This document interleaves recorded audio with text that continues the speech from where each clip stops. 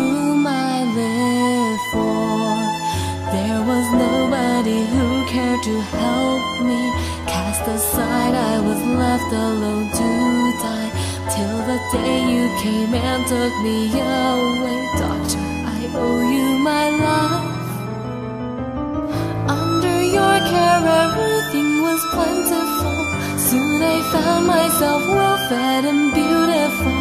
Though I feared what come to an end. Doctor, thank you for sparing me once again.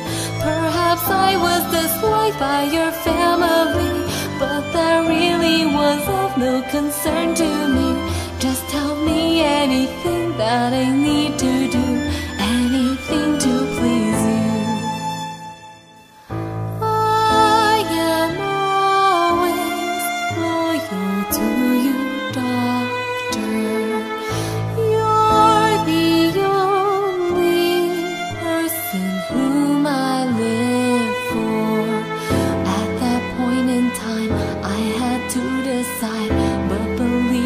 were in